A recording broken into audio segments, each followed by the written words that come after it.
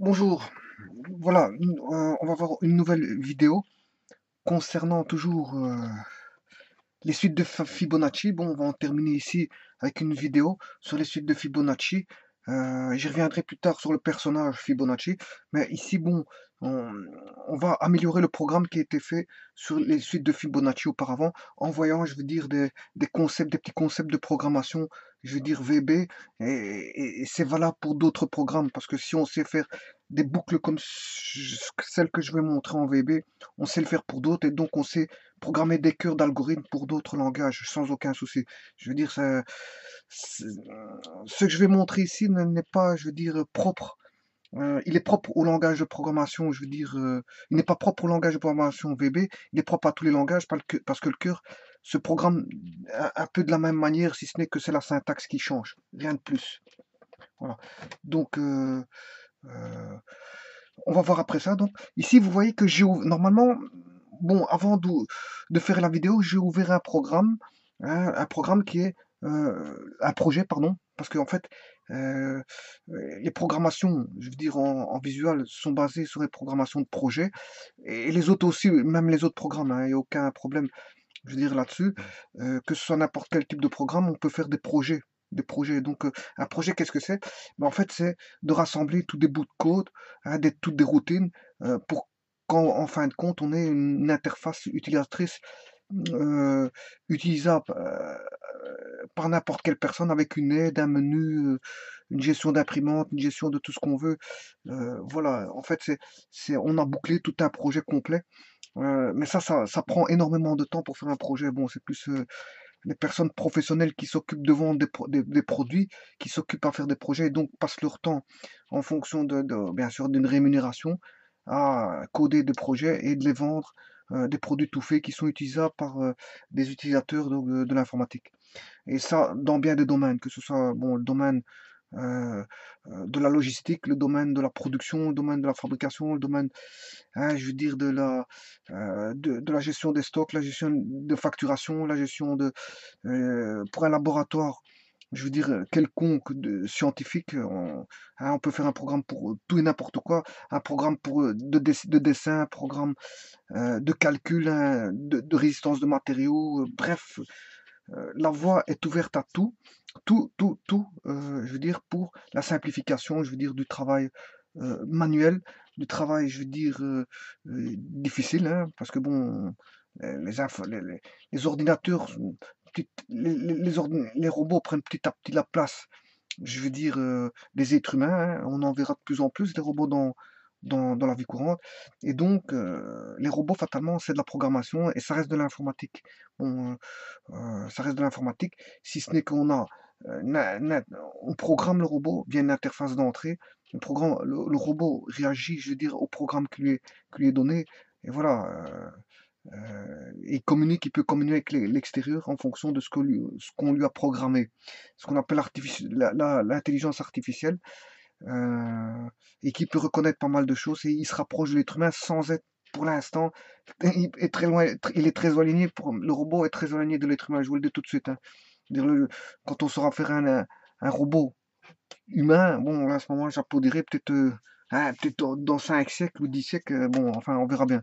Avec un cœur, heu, un estomac qui puisse manger et cetera et cetera. Il faudra assez assez longtemps assez longtemps et donc le jour où il y aura des robots de telle nature, à ce moment-là, ils pourront être encore plus utiles pour, heu, je veux dire, l'être humain. Et à ce moment-là, l'être humain n'aura plus besoin de travailler fatalement, hein. C'est les robots qui sont là pour eux. Le travail disparaîtra complètement. Enfin, disparaîtra pour l'être humain, mais pas pour les robots. C'est ça que je veux dire. Bon, enfin bref, moi c'est pas ça que je voulais dire. Vous voyez que j'ai ouvert un, un projet. C'est ce que j'étais en train de dire. J'ai ouvert un projet. Mon projet concerne euh, n'a qu'un seul formulaire. hein. Bon, euh, j'ai pas fait un programme long. euh, j'ai pas fait un projet complet. hein. J'ai fait un petit projet de rien du tout, c'est-à-dire d'un formulaire pour montrer la. Parce qu'un un projet, c'est rempli de formulaires, c'est rempli de documents, c'est rempli de, euh, de gestion de mémoire, de gestion de ci, de gestion de là. Enfin bref, ici, moi, j'ai pas fait un projet complet, j'ai fait juste un petit projet de, pour juste faire un formulaire de euh, Fibonacci.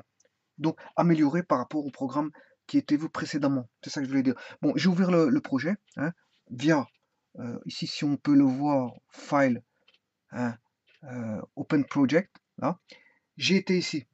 Voilà, tout ce qui est euh, projet, donc on peut ajouter un projet, l'enlever. Remove, on l'enlève très rapidement, hein, il s'enlève, remove, il s'enlève très rapidement. Voilà, sans passer par une confirmation au caisse. Voilà, Open Project, ajouter un projet, enlever un projet, sauvegarder, sauvegarder en tant que. attention, pas confondre sauvegarder, sauvegarder en tant que. parce que ça peut causer des problèmes de sauvegarde. Hein. Dire, sauvegarder, c'est parce qu'en fait, il a déjà été sauvegardé auparavant. Sauvegarder en tant que, c'est pour sauvegarder sous un autre nom. Voilà. Bon, alors ici, on va prendre le projet. Alors, on sait, dans ce projet, on sait l'imprimer. Hein, voilà. et alors, il, affiche ici. Hein, je sais pas si on le voit. Il affiche ici, Ici, tous les anciens programmes, tous les anciens projets que j'ai ouverts auparavant. Et donc, il se met dans la liste, hein, du, dans une liste, dans une queue. et il met du, le dernier ouvert, c'est celui-ci. Ensuite, c'est celui-là. Et en fait, il liste hein, par, par une pile, une espèce de pile. Hein, le, dernier, il se met là, en, premier. Hein, le suivant, il se mettra là, alors que le, celui qui était avant-dernier devient deuxième. Celui qui était dernier devient deuxième, puisque j'en ai, remis un sur la pile comme ceci. Si je rouvre un autre projet encore au-dessus, ben, tout redescend. Ah, voilà, c'est voilà, un historique en fait, c'est un historique d'ouverture via une méthode de pile. Voilà, de pile. Et alors ici on peut sortir. Bon, ça, ça, je son projet. Mais ici, vous voyez que j'ai ouvert le projet. Comme je vous l'ai dit, vous pouvez me faire confiance, je l'ai fait. Hein. Donc j'ai ouvert le projet euh, de la, du formulaire, mais je vois rien apparaître. Bon, ça peut arriver. Ça peut arriver. Quelqu'un qui voit, je veux dire, euh, bon, c'est vide, il y a du vide. Pourquoi il y a du vide? Il faut se poser la question pourquoi il y a du vide? Tout simplement parce que il manque euh, des fenêtres manque des les fenêtres adéquates. Euh, oui, ici, je voulais juste ajouter quelque chose.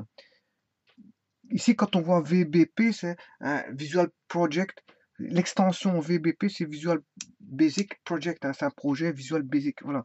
Donc, qui contient des formulaires, comme je vous ai dit, contient du code, euh, des fenêtres de code, qui, qui contient, je veux dire, peut-être des graphiques, euh, peut-être des DLL. Qui, il peut tout comprendre hein, des fichiers, des fichiers binaires, des, images. Bon, c'est ça un projet. projet, c'est tous des fichiers qui, qui, sont contenus dans un répertoire et voilà et, et, qu'on va le rendre exécutable euh, avec des bibliothèques, etc. C'est ça un projet en fait. C'est pas mal de choses. Enfin, je peux pas expliquer ce que c'est qu'un projet parce que c'est tellement long euh, de ce que peut contenir un projet. Euh, voilà, mais comment on peut le gérer. Mais ici, moi, je ne fais pas de la gestion de projet au niveau du VB. Moi, je fais juste un formulaire, comme j'ai expliqué. Bon, je reviens là-dessus. Je demande pourquoi c'est vide. Je dis pourquoi c'est vide? Parce qu'en fait, euh, les fenêtres ne s'affichent pas. En fait, c'est parce que je les ai fermées. Donc, il faut aller dans View. Et voilà, moi, ce que j'ai envie de voir, c'est euh, Project, Explorer, Explorer, ce qui veut dire l'explorateur de projet, où je tape CTRL R pour le raccourci euh, clavier. Donc voilà. Et là, on voit bien que mon, projet est là, hein, avec le formulaire qui est ici. Bon, je vais fermer. Hein. Je ferme. Donc ici, supposons qu'on ouvre un projet VB et qu'il y a du vide comme ça, on se demande, mais comment ça se fait le projet ne s'ouvre pas? Mais c'est simplement, c'est parce qu'en fait, il y a quelqu'un qui, a fermé toutes les fenêtres auparavant, il les a fermées toutes. Parce que, je veux dire, par initialisation, la première fois qu'on utilise VB, une fois qu'on ouvre un projet, les, fenêtres apparaissent, les vues apparaissent, les documents apparaissent. Donc, s'il n'apparaît pas, c'est quelqu'un qui a été fermé toutes les fenêtres. Et c'est le cas ici, par exemple. Donc, c'est pour vous montrer qu'il faut faire attention à ça. Vous allez dans View Project. Voilà, comme ceci. Bon, alors, mais ça, c'est euh, mon projet. Bon, maintenant, je vais faire apparaître euh, euh, la fenêtre de propriété, Windows. Je fais F4 ou je clique ici. Properties, Windows. Voilà. Une deuxième fenêtre apparaît. Elle apparaît juste en dessous de projet, bien sûr. Le programme essaie d'intercaler au mieux euh, les fenêtres, hein, et il le met avec une taille d'initialisation. Je peux l'agrandir, bien sûr, hein, comme je veux. Hein, je veux dire, euh, hop. Euh, c'est sujet, je veux dire, à modification au niveau de la taille. Ça, c'est pas, un problème. Je remets ce qu'il était. Généralement, c'est comme ça qu'on le met. Alors ici, View. Qu'est-ce que je peux remettre La forme layout. Voilà. Comment va être le, le formulaire, l'affichage du formulaire? View, la page de propriété. Voilà. Bon, ici, il n'y en a pas. Donc ici, qu'est-ce qu'on va faire? Bon, sachant ceci, je dis ça pourquoi? Parce que l'autre fois, j'avais euh, euh, j'avais mis dans j'avais fait intégrer, je veux dire, de c'est pas ça, je viens de mettre la fenêtre immédiate, c'est pas celle-là. Voilà, j'avais mis watch, watch window pour un espionnage de variable. Voilà. Voilà. Euh, voilà. Et je voulais déplacer ceci. J'avais plus de place. Donc, en fait, il suffit de fermer tout le reste. Hein. Voilà. Et, maintenant, j'ai la watch window qui va prendre moins, moins de place. Enfin, j'ai plus de place pour mettre mon, mon code ici et d'avoir qu'une fenêtre de watch window. C'est ça que je veux dire. Parce que l'autre fois, j'avais la fenêtre Watch Window qui m'embarrassait ici, et j'avais les, la feuille de projet qui était à côté et qui m'embêtait. Voilà.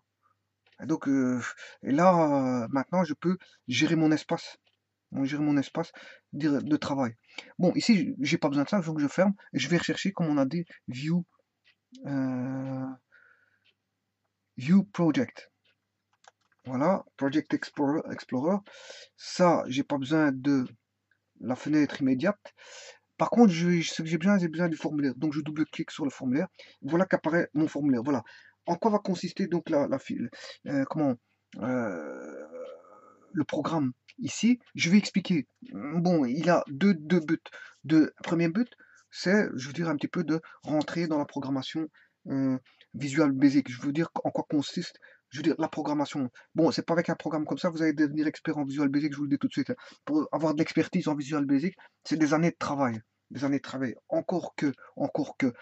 Euh, parce qu'on n'utilise pas tout, tout, tout, tout, tout l'environnement Visual Basic. Hein. Parce que par exemple, si je prends les bases de données, je vois pas l'utilité d'utiliser les bases de données en Visual Basic. Je vous le dis tout de suite parce qu'il existe de très bons gestionnaires de bases de données qui sont pour Microsoft, parce que ici c'est la programmation Microsoft, que ce soit pour Microsoft, pour d'autres, ou pour d'autres, euh, je euh, systèmes d'exploitation, quels qu'ils soient. Donc, je veux dire, bon, utiliser les bases de données DAO ou, ou n'importe quoi, hein, avec Visual Basic, moi, c'est pas mon, ma tasse de thé, je vous le dis tout de suite. Si je vais utiliser des bases de données, j'utilise des gestionnaires de bases de données spécifiques qui font, qui sont conçus pour ça qui sont conçus pour ça. Et donc, je vais pas programmer en Visual Basic, je veux dire une base de données. Hein. Donc, c'est pour ça que je dis par là que le Visual Basic, bon, euh, euh, je veux dire, euh, c'est un monde, c'est un monde énorme, hein, je vous dis la vérité, hein, je vous le dis tout de suite, c'est un monde énorme, tout comme l'est le monde du Visual C++, et que, que, que ce soit le monde du Visual Java, de toute façon, ce sont des noms, des appellations différentes, des syntaxes différentes, mais apparemment, on sait faire Mmh, ce qu'on sait faire avec l'un, on sait faire avec l'autre. Je vous le dis tout de suite parce qu'on m'a embobiné l'esprit en me disant ouais bon avec C++ on sait faire ci, avec euh, Visual Basic euh, on sait pas faire ça. C'est faux, c'est faux parce que euh, si on veut jouer avec des registres avec Visual Basic on sait le faire. Hein, et donc accéder à la mémoire via un interfaçage et donc rejouer en assembleur. Donc qu'on me dise pas que c'est plus plus ça faire des trucs que Visual Basic c'est pas faire, c'est pas vrai parce que via des interfaçages spécifiques, je veux dire, on sait accéder à des ports et donc euh, faire ce que l'on veut, ce que l'on veut. Gérer la mémoire, on sait le faire, mais il faut chipoter, je veux dire, euh, s'y connaître convenablement bien en Visual Basic, c'est chose qui n'est pas, je veux dire, de la, à la portée de tout le monde, hein, parce que Visual Basic, je veux dire, c'est un monde, c'est un, un univers. Euh, tout comme les Visual C++, ce qu'on sait faire avec un, langage de programmation, on sait le faire avec un autre, sans aucun souci. S'il faut faire des choses, je veux dire, adaptées, ben, il y a des programmeurs professionnels qui savent le faire avec Visual Basic, et quand je dis programmeurs professionnels, ce sont des très grands, très grands programmeurs qui savent tout faire en Visual Basic. Voilà. Bon, mais je veux dire que le Visual Basic, c'est immense. C'est quelque chose d'immense. Tout comme les Visual C++, Java, comme, comme tous les langages de programmation. Et en fait, ils se réunissent ils se réunissent quelque part, c'est qu'en fait, ils ont tous, je veux dire, euh, euh, pourquoi? Parce que ce sont peut-être, euh, enfin, Visual Studio, c'est comment? Microsoft, mais il y a des, des, C++ n'est pas l'apanage de, je veux dire, de, Microsoft. Hein. Bon, il y a C++, je crois, de le C de Unix, il y a le C++, enfin, de Borland. voilà, je veux dire, c'est pas l'apanage de Microsoft. C'est pas lui qui a inventé le langage c'est, et voilà, il l'a repris, il l'a a modifié, il a, on a fait le Visual Studio et il a peut-être fait ses fonctions à, lui. Ses fonctions sont à lui, bien sûr. Ils ont codé des fonctions spécifiques. Et voilà. Euh, Microsoft a utilisé, je veux dire, euh, euh, pas mal de choses qui venaient d'ailleurs, ça, bon, d'IBM, etc., etc., de, de, ah, euh, euh, de pas mal de choses qui venaient et étaient modifiées, et je veux dire, ils ont modifié, ils ont, voilà, fait des interfaces de programmation. Mais tant mieux, hein, s'ils ont fait ça, tant mieux. On peut programmer, hein, mais je veux dire que ce qu'on programme en n'importe quel type de langage, si on a envie de faire une application, elle marchera dans n'importe quel type de langage. Et maintenant, s'il faut faire des gestions un peu spécifiques, là, il faut peut-être rentrer en assembleur via euh, le langage de programmation et tout est possible en fait, tout est possible. C'est ça que je veux dire. Donc, n'allez pas croire qu'avec un langage on fait des choses, qu'avec un autre on ne sait pas faire. C'est complètement faux. J'ai entendu toutes sortes de choses, mais j'ai vu, j'ai vu des programmeurs qui faisaient des choses incroyables avec du, VB, hein, alors qu'on disait qu'on on me disait qu'on ne savait pas faire. Et montrez-moi voir un programme qu'on ne sait pas faire en, en, VB qu'on sait faire en C++, dites-moi-le. À ce moment-là, je téléphone à un programmeur de Microsoft et on regarde tout de suite si le programmeur de Microsoft ne saura pas faire euh, votre demande. Et vous allez voir tout de suite que euh, euh, ça va se faire. Ça va se faire. Pourquoi? Parce qu'en fait, avec tous les langages de programmation, quels qu'ils sont, on sait faire toute application possible et ima- imaginable. Voilà, parce que maintenant, les langages de programmation sont quas- quasiment presque tous évolués. Ils ont tous des, euh, je veux dire, euh, des bibliothèques conséquentes de, de- d'une panoplie de tout ce qu'on peut faire. Et donc, je veux dire, euh, faut cesser de croire qu'avec un langage, on, sait faire quelque chose et avec un autre langage, on ne sait pas le faire. En fait, c'est un petit peu de, une manière hautaine de montrer que, ouais, bon, hum, je veux dire, le C++ vaut plus que le Visual Basic. C'est faux. C'est faux. C'est faux.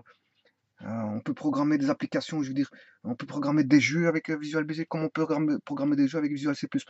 Mais il faut s'y connaître, il faut s'y connaître. C'est ça que je dis, le, code en, en, VB, enfin les fonctions sont immenses, immenses. Surtout maintenant, on est en 2017, avec, euh, maintenant je crois que c'est C-Cross, enfin je sais plus comment ils appellent ça, parce que je suis plus à la mode.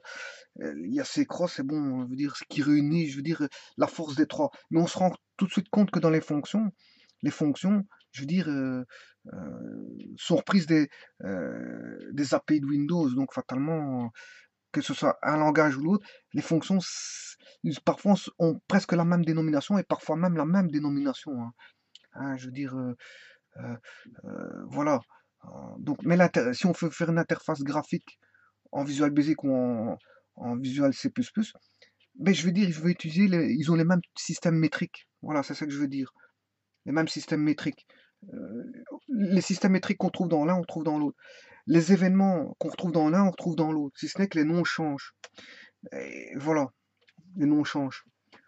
Euh, euh, le Visual Basic est un langage, je veux dire, qui peut se programmer en, en, en struc- en structuré, mais on peut passer en, en comment qu'on appelle ça, en, langage euh, purement orienté objet, en créant des classes, etc., etc., etc. Bon, attention, ici, directement, quand on joue avec des formulaires, d'office, on joue avec des classes. hein, parce que la, cla- la classe formulaire fait partie d'une classe VB bien précise. Voilà. Donc, on, d'office, on joue avec des classes, et il y a des objets cachés, il y a des, voilà, euh, euh, voilà, me dire ce qu'on ne sait pas faire avec un langage, avec le langage VB, faut me le dire, qu'on sait faire avec un autre langage, euh, on, verra. Moi, je crois pas à tout ça. On m'a assez, je veux dire, embobiné pour me dire que, je veux dire, ouais, avec tel langage, mais ça, c'est vu d'une manière hautaine. Ouais, utilisez ce langage-là et pas un autre. Alors que euh, VB, je vous dis, on peut faire de l'électronique avec VB. hein. On peut faire de, jouer avec les ports, les ports de n'importe quel, je veux dire, hein, avec une interface série, on peut faire pas mal de choses. hein, je veux dire, donc une fois qu'on joue avec les ports, on sait accéder à l'électronique donc euh, euh, qui, qui dit accès à l'électronique dit accès au micro-P, accès à l'imprimante, accès à, tous les périphériques, accès à tout, à tout et n'importe quoi dans la- dans l'informatique. Une fois qu'on a un port d'en- d'entrée-sortie hein, euh, via un port com ou quelque chose comme ça, ou LPT, parallèle aux, aux séries, on peut communiquer des données, et donc euh, en recevoir et en communiquer. Donc, euh, faire une interface VB est, possible euh, via, comment qu'on appelle ça, la programmation. Et la gestion mémoire, on sait aussi de la gestion mémoire, mais il faut s'y connaître un peu plus, je veux dire, en VB. quelqu'un qui s'y connaît très bien en VB, bon, peut faire de la gestion mémoire sans aucun souci. Et si il y a quelqu'un qui vous dit non, ben, c'est qu'en fait, il ne sait pas le faire tout simplement. Voilà. Euh, c'est qu'il faut demander à, un programmeur chevronné en VB, et peut-être de chez Microsoft, parce que les meilleurs euh, programmeurs VB sont bien sûr chez, euh, chez Microsoft. Comme on retrouve les meilleurs programmeurs en C++ chez Microsoft, c'est vrai parce qu'ils prennent les meilleurs programmeurs et ils ont des formations spécifiques et, ils évoluent avec des formations toujours quotidiennement pour, pour avoir au bout de 10-15 ans, je veux dire, une force incroyable de, programmation, je veux dire, en C++, et voilà. Parce que c'est, pour connaître tout l'environnement, il faut des années, hein. je veux dire, c'est pas en faisant un, codage comme ça qu'on connaît toutes les, bibliothèques, comment elles font, comment fonctionnent toutes les fonctions dans les bibliothèques. Quoique, je veux dire, si on est dédié aux, bases de données, mais à ce moment-là, un programmeur dédié aux bases de données, il connaîtra que les, programmations, euh, que bases de données. Quelqu'un qui est dédié, je veux dire, aux structures, comment est-ce qu'on appelle ça, HTML, enfin, au, langage de balise, là, euh, euh, au tag, au tag de balise, aux balises HTML, euh, ben, il va être dédié qu'à ça, faire des, applications, je veux dire, relatives au, web, au web. Voilà. Quelqu'un qui est dédié, je veux dire, à faire des programmations, je sais pas moi, sur sur, je sais pas moi, des communications, je veux dire, euh, réseau, euh, il va être dédié qu'à ça, il va connaître tout sur le réseau, puisqu'il va être formé là-dessus, euh, au niveau de la programmation VB ou Visual C++ ou, Java ou peu importe, quel que soit le type de programmation, tout est possible. Tout est possible. Et je veux dire, quelqu'un qui vous dit non, c'est en fait qu'il ne sait pas le faire, tout simplement. Bon, ou qu'il a été lire, lire, un bouquin et on lui a remonté la tête avec le bouquin en disant, bon, ouais, avec tel langage on sait faire, avec un tel langage. Et c'est faux. C'est faux. Parce que moi, j'ai vu tout plein de programmes un énorme programme que j'ai vu, euh, que j'ai vu, et ce qu'on savait faire avec l'un, bon, il n'y avait aucun souci. Tous les programmes que j'ai vus, on savait faire avec euh, un autre programme. Voilà. Que ce soit, je veux dire, même avec euh, des langages des langages comme Fortran, on sait le faire. Ouais, Fortran, c'est ça, c'est visuel, c'est l'interface Visual Studio. Hein. Donc, le Formula Translation, qu'ils appellent ça, plutôt étudié par les, par les étudiants, je crois. Je crois, je suis pas, pas sûr que ça, pas, aussi sûr. Formula Translation, je veux dire, on sait le travailler ici en Visual Studio. Bon, moi j'ai un Visual Studio 97, donc j'ai Visual, Visual Studio 97, euh, ce qui fait ici j'ai un Visual Basic 5. J'ai le 5. Voilà. Donc il est très ancien ce Visual Basic Studio. Mais je me demande s'il est nouveau, enfin si par après il y a eu des Visual Studio. Pour faire du Formula Translation, il faut ramener des fichiers spécifiques. Hein. Il faut hein, incorporer des fichiers pour travailler en, en, en, en Fortran. En Fortran. Avec Visual Studio, on sait faire beaucoup de choses. Hein. Bon, je sais pas qu'on sait faire Java, on sait faire euh, euh, euh, comment est-ce appelle ça du VB, puisque je suis en train d'en faire. On sait faire du C, du C. Hein. Comme on sait faire du C, on sait faire du C++ aussi. voilà. On, sait faire du, du, Fortran. On sait faire, voilà. Et je crois même qu'on sait faire de l'HTML. On sait faire de l'HTML. Euh, voilà, je, crois. De, il faut aller. Euh, euh, je sais bien qu'il y a une interface qui s'appelle Interdef. Bon, je n'ai jamais regardé ce que ce que c'était, ce que c'était, mais je crois qu'on sait manipuler, je veux dire, du code HTML. Je crois. Voilà. Donc ici, je ne vais pas m'avancer trop parce que j'en suis pas plus sûr que ça. Voilà. Bon, donc ici, ce que je voulais dire. On sait faire. Il y a un environnement pour faire des, images. Hein. Je peux faire des images. Euh, je peux créer une image comme dans, dans Paint. Il y a un éditeur de texte, il y a, tout plein de, de, Enfin, c'est un programme conséquent. Ceci, c'est un, un, programme conséquent. Visual Studio, c'est beaucoup de librairies, que ce soit en C, C++, je veux dire Java, tralala, tralala, contient toutes les librairies possibles, et toutes des interfaces de... Euh, hein, vous voyez, hier, on a, on a utilisé, je veux dire, dans la vidéo précédente, on a utilisé, je veux dire, le système debug, voilà, c'est un gestionnaire de, je veux dire, d'espionnage. Et ça, c'est un programme tout fait. Bon, je veux dire, il faut le faire quand même. Hein. C'est un petit programme qui est tout fait, tout ça. Hein. Voilà. Donc ça contient énormément, énormément, énormément de choses. Voilà. Bon, alors, ici, qu'est-ce que j'ai? On va revenir à nos moutons, parce que je me suis un petit peu trop étalé. Donc, n'allez pas dire qu'avec Visual Basic, bon, on sait faire des choses, et d'autres, on, ne sait pas le faire. C'est pas vrai. C'est pas vrai. Bon, avec Visual Basic, un très bon programmeur, il sait faire tout ce qu'il veut avec, euh, et que j'appelle très bon programmeur. Pour en être sûr, je vais chercher un programmeur de Microsoft. Voilà.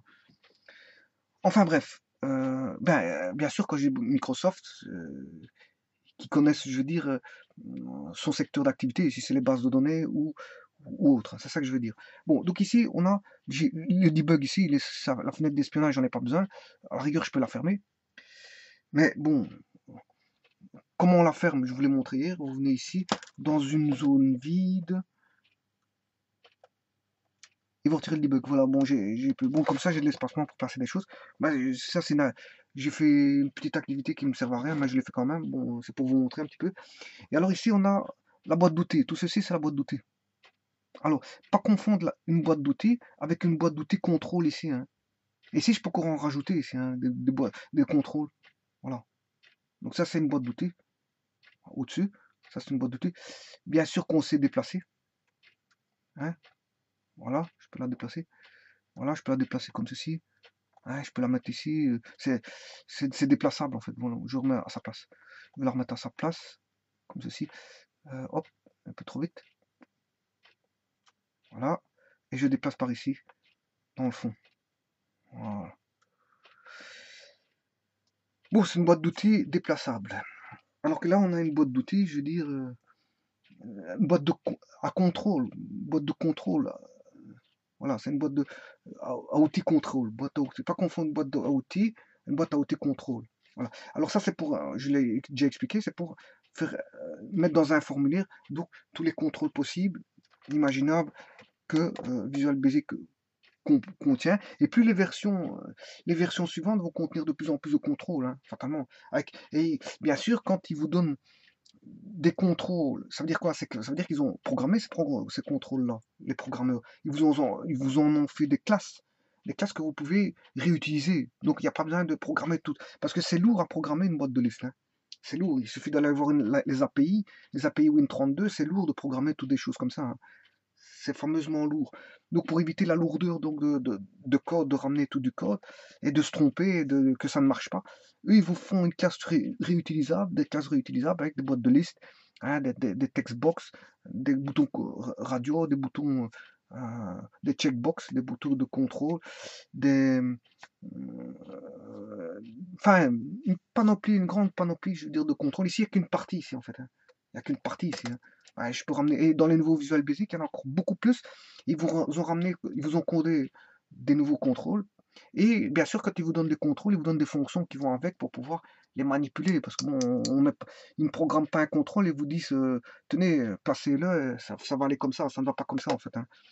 Ils vous donnent des fonctions spécifiques toutes faites euh, à utiliser par rapport à la classe.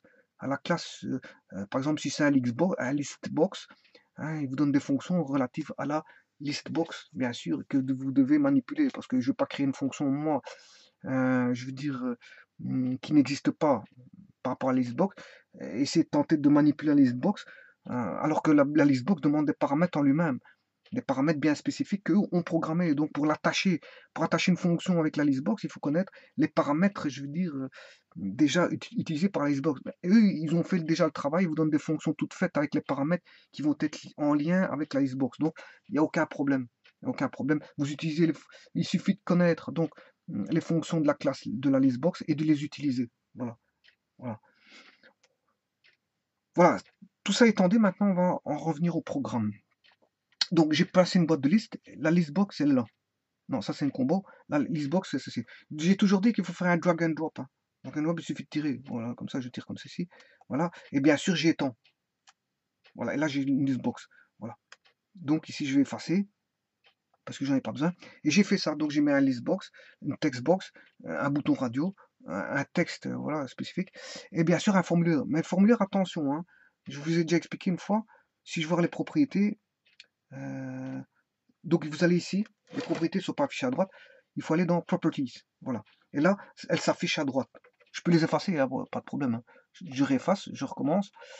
Donc vous allez ici, hein, sur, la, formulaire, pas sur un contrôle. Il faut sortir du contrôle, vous allez sur un formulaire. Voilà, vous allez sur un formulaire, donc vous allez dans Properties, et toutes les propriétés s'affichent. Et là, vous avez c'est les propriétés du formulaire, parce que j'ai cliqué sur le formulaire. Et là, vous allez dans Windows, Windows State, et vous mettez Maximize, comme ça a été fait ici, Maximize. Non, propriété Windows State, qui veut dire état de la fenêtre, et elle est mise dans un état donc de maximisation, c'est-à-dire que quand je vais faire tourner le programme, il va être directement, je veux dire, euh, à la taille maximale. Voilà. D'ailleurs, on va le voir maintenant. J'exécute ici le programme. N'oubliez pas, n'oubliez pas que j'avais montré l'exécution, ce soit run ici, hein, start. Voilà. Ou alors, c'est ceci, start, ou encore F5. Rappelez-vous, avec la fonction F5, j'ai tout expliqué. Bon, moi j'ai un bouton, je vais via la boîte à outils et je fais Start. Voilà. Qu'est-ce qu'on voit? Voilà, on voit bien qu'elle est maximisée, comme mon, on l'a vu. Bon, alors en quoi consiste le programme? On va le voir tout de suite. C'est les suites de Fibonacci, comme j'ai expliqué, mais améliorées. C'est-à-dire que cette fois-ci, l'autre fois, j'avais dit qu'on pouvait introduire une valeur et on pouvait s'arrêter soit par un nombre de bouclages bien précis, soit en rentrant une valeur. Bah, les suites de Fibonacci vont donner 1, 1, 2, 3, 5, 8, 8, 13, voilà. Et donc, je peux m'arrêter, par exemple, à, au suivant de 13. Par exemple, je m'arrête à, le suivant de 13, c'est 13 plus... Euh, donc, 5 plus 8, ça fait 13, 13 plus 8, 21, voilà. Donc, 1, si j'ai 1, 1, 3, non, 1, 1, 2, 3, 5, 8, 13, 21. Ben, si j'ai envie de m'arrêter à 21, ben, je tape 21 ici. Ou je peux m'arrêter à un nombre de bouclages précis par, rapport à la, suite. Je dis je m'arrête au bout de 10, bouclages. Mais ça, c'est le programme que j'avais fait précédemment. Je, m'étais arrêté au bout d'un certain nombre de bouclages. Encore, je n'avais pas mis le, un bouton qui me disait que je pouvais euh, introduire un nombre de bouclages. Si je voulais, je mettais un, bouton qui introduisait un nombre de bouclages. Et en fait, ces bouclages, c'est quoi? En fait, c'est tout simplement l'indice du terme de la série. Par exemple, U0, mais le 0, ce sera bouclage 0. U1, c'est le bouclage 1. U2, c'est le bouclage 2. U3, c'est le bouclage 3. U4, c'est le bouclage 4. U5, c'est l'indice du terme de la série, de la suite, pardon. Ouais, si j'ai fait un amalgame suite-série, mais en fait, c'est une petite série partielle, hein, puisqu'on a toutes des sommes. Hein. Si on réunit toutes les sommes, on a toute une grande somme. chaque somme pourquoi on obtient un arbre Comme j'ai expliqué dans... Parce qu'en fait, on fait toutes des sommes du précédent. Donc, ces sommes-là vont s'allonger les unes par rapport aux autres. Et ça donne, veut dire, une espèce de série partielle. Hein. Donc, oui, c'est une suite, mais provenant d'une série partielle. Voilà. Qui s'engendre. Voilà. Bon, donc, tout ça, j'avais expliqué. Bon, alors, euh, je mets 20. Euh, je vais mettre une valeur qui vaut, par exemple, 45. Euh, et j'appuie sur... Vous voyez, ici, je ne sais pas si on voit.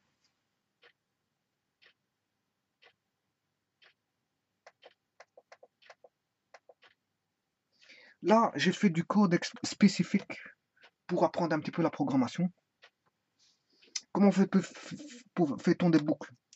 Il y en a une qui émule euh, for next. Je n'ai pas fait for next. Hein. Il y en a une qui émule euh, for next. Bon, mais disons que ici, ce sont des boucles, toutes des boucles. Soit je le fais avec while wind. Voilà. Je l'ai fait avec while wind. Il indique que je l'ai fait avec while wind. Et là, on, voit la suite de Fibonacci qui se met dans la boîte de liste. Donc j'ai 1, 2, 3, 5, 8, 13, 21, 34, 55. Voilà. Et en fait, qu'est-ce que vous constatez? Ben, En fait, j'ai tapé 45, mais il était jusque 55. 45, 55, c'est la dernière valeur avant 45. Mais ben, si maintenant le 55 vous intéresse pas, vous faites éliminer de la liste. Voilà, et je retire le dernier. Je sais pas si on voit. Voilà. Donc je recommence. Je vais aller jusqu'à une suite de Fibonacci qui va jusque, on va dire, 187. Je vais le faire par une boucle do while. Voilà. Et là, qu'est-ce que ça donne? Donc, j'ai euh, do while loop, pardon, do while loop. Donc, c'est une boucle. Je l'ai fait par une. J'ai cliqué ici pour avoir do. Ouais, ici, j'ai fait une petite fantaisie. Hein. Bon, de temps en temps, ça arrive de faire des petites fantaisies dans les programmes, pourquoi pas. Bon, c'est toujours bon de savoir quand on travaille quelle heure qu'il est, on est le combien. Bon, ici, bon, ah, on est le combien aujourd'hui? On est le 2 du juillet, du juillet 2017. Bon, si j'ai travaillé que j'ai oublié la date de jour, ah, la date de jour est indiquée ici, on est le 2 juillet. Maintenant, ici, ça indique l'heure, il est quelle heure? Ben, Il est midi. Maintenant, on va voir si, si c'est bon par rapport euh, à l'heure. Euh, oui, il est midi, midi quart, mais bon, c'est bon, elle n'est pas tout à fait. Euh, voilà, en regardant l'heure, vous savez voir dans quel fuseau horaire je me situe, donc au niveau géographique où je me situe, hein, donc ça ne fait pas un problème. Hein. je peux vous, ma situation, il n'y a pas de problème. Voilà. Voilà ce que je voulais dire. Donc ici, euh, j'ai tapé 187 et bon, j'ai 1, 2, 3, 5, 8, 13, 21, 34, 55, 89, 144. Bon, et après 187, le dernier c'est 130, 233. est ce qui vous intéresse, ça vous intéresse pas? 233. Ce qui vous intéresse? Ben, Sinon, vous le retirez. Hein. comme ça, j'étais jusque 144. Bon, j'aurais pu le retirer par programmation sans aucun problème. C'est pour vous montrer que euh, avec les do while loop, parfois on peut dépasser et il faut faire attention de ne pas dépasser. Voilà. Bon, do until loop. Voilà, je vais aller jusque 1000. On va aller les suite de Fibonacci jusque 1000. Voilà. Alors, je vais le faire avec une do loop, while. Voilà, do loop while, avec do loop while. Donc, il, a, il y a 1, 3, 5, 8, 13, 21, 34, 55, 89, 144. 233, 377, 610, 987, 1597. Bon, vous voulez pas le 1597 pour euh, être en dessous de 1000 ben, Je clique là. Voilà. Sans aucun problème. Voilà. Bon, je fais avec une loop until. loop until. Voilà. J'élimine le dernier de la liste. Ouais. Voilà. Il a enlevé le dernier de la liste. Bon, on va aller jusque. Euh, on va essayer de tenter jusque 10 000. Voilà. Je vais le faire avec une double poil. Hop. Vous voyez que malgré que je vais jusque 10 000, euh, euh, apparemment ça commence à s'espacer parce qu'au début, 1, 2, 3, 5, fatalement les sommes, c'est 1 plus 1, ça fait 2, 2 plus 3, ça fait 5, c'est des petites sommes de rien du tout. Par contre, quand je commence à avoir des grands, des, nombres moyens, 144 plus 233, on arrive vite euh, hein, au-delà des 300. Hein. Si je fais 377 puis 610, on, est de là. Donc ça va commencer à, devenir de plus en plus, on va dire, euh, espacé, hein, fatalement. L'espace va s'agrandir au fur et à mesure que l'on monte. Hein. Hein, je veux dire, au début, on a des petits espaces, et puis après, on, ils deviennent de plus en plus grands pour devenir énormes à, la fin, parce que je veux dire, c'est des... Enfin, à la fin, il n'y a pas de fin ici. Ici, c'est juste une fin qu'il faut, pas programmation, parce qu'en fait, c'est des suites infinies. Enfin, c'est des suites entières, c'est des suites entières, mais si je la rends, hein, c'est des suites entières qu'on arrête, on arrête en fait. Hein. dire, euh, on, doit les arrêter. Parce que si on ne les arrête pas, on va dire qu'elles sont, ce sont des suites divergentes. Ça veut dire que on additionne tout le temps, elle est strictement croissante, et donc fatalement euh, croissante. Ça veut dire, vous voyez, on, ne diminue pas. Hein. C'est pas qu'on diminue à un moment donné on monte toujours, on monte toujours, on ne peut que monter. Donc en fait, on tend vers l'infini si, on, si n tend vers l'infini. Mais ici, on ne joue pas avec... Euh, donc c'est bien une croissante et infinie si n tend vers l'infini. Ben ici, on arrête, on arrête. J'arrête à 1000. On est en programmation ici, je veux dire... Euh, on n'est pas en mathématiques pour étudier le décay idéaux, je veux dire, en, n tendant vers l'infini. Je veux dire, bon, l'informatique ici, tout est, la mémoire est finie, euh, une division par zéro, il ne sait pas le faire. Hein. D'ailleurs, on est obligé de faire un, une espèce de, euh, de, comment est-ce qu'on appelle ça? Parce que 0 divisé par euh, un nombre, enfin un nombre divisé par 0, ça fait l'infini, hein, 0 hein, par, ça fait l'infini. Donc ça devient énormément grand et la mémoire ne, ne sait pas gérer l'infini, ne sait pas gérer. Donc que ce soit en informatique ou dans les applications humaines, euh, faut pas parler d'infini, ne parlez pas, je veux dire, de nombres à virgule vers l'infini, c'est-à-dire ne parlez pas de pi. Euh, les pi, ils sont coupés. Hein. Hein, je veux dire, dans le monde humain, tout est coupé. Il n'y a pas de nombre qui, qui tend vers l'infini ou des nombres à virgule avec une, série illimitée euh, derrière. Ça n'existe pas, je veux dire, dans le monde humain. Ça n'existe pas. Voilà. Euh, tout est limité, tout, euh, tout, tout. Maintenant, en mathématiques, on étudie des cas idéaux. Quand n tendant vers l'infini, comment réagit les, je veux dire, pour une simulation, hein, comment on devient, quand n tend vers l'infini, qu'est-ce qui se passe? Bon, là, on, fait des simulations pour voir bon, les réactions d'un, je veux dire, d'un, process ou de, n'importe quoi, hein, euh, d'une étude, hein, voir comment, quand ça tend vers l'infini, qu'est-ce qui peut se passer. Voilà. Mais ici, dans, la mémoire n'est pas infinie. Donc, euh, si je joue avec n égale, euh, allez, je vais mettre combien? J'ai pas envie de planter mon programme, mais je peux monter jusqu'à un moment de voir la limite pour n. Hein. Voilà, mais j'ai pas envie de le faire. parce que après, il faut démarrer le PC, tralali, tralala. Bon, ici, j'ai mis 100 000. Bon, on tente. Je vais tenter avec une double d'où loop until. Vous voyez, là je suis au-dessus des. Euh, je suis en débordement. Overflow. Overflow. 100 000, je suis en overflow. Voilà. 100 000, je, 100 000, je suis en overflow. Pourquoi? Faut pas oublier que le 100 000, c'est le point de départ. Hein. parce qu'après, il va commencer à additionner, il va dépasser un, certain, voilà, un certain montant. Voilà. Bon, maintenant, ici, on va voir comment, comment fait le programme. Voilà.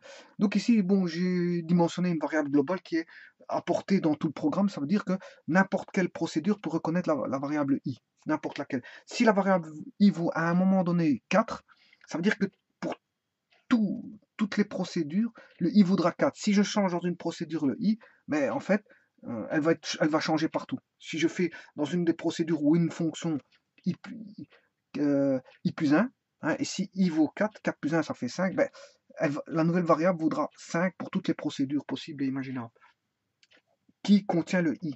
Voilà, c'est pour ça qu'on dit une variable globale. Ici, j'ai mis une variable globale en tant que variant. Bon, variant, c'est quoi? C'est un mot qui veut dire, euh, euh, qui peut varier de, de, je veux dire, de, euh, comment, de, comment on appelle ça?